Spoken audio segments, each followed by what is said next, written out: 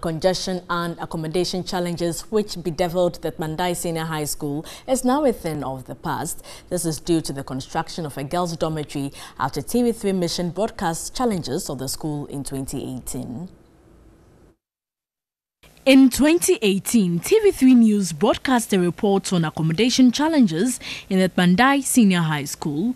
Lack of ventilation and congestion in the school were some prominent problems confronting students. School authorities were compelled to convert classrooms into dormitories.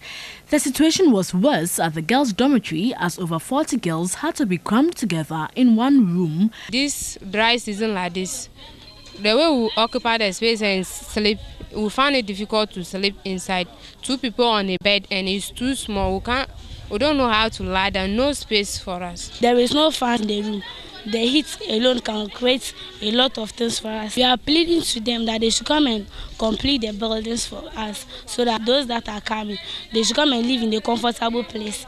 But we will not enjoy it, but we are praying for our genius to come and take over for us. Months after the report, help has finally come to the school. Government moved in to continue the construction of the girls' dormitory, which had stalled. The structure is now ready and is currently accommodating more than 500 female students school authorities were grateful to TV3 Mission. When TV3 came and did the story, we had the, in fact, I would say we had the result, very good results. And then quickly the District Assembly also came in and completed the building.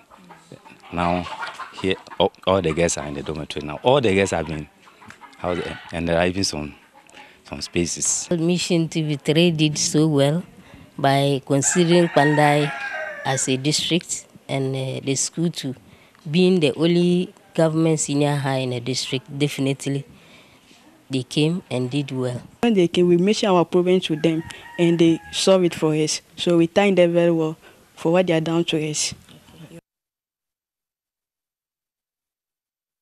Mission indeed gets results and that's it for Mission which is supported by the Star Ghana Foundation with thanks to Danida, UK Aid and the EU.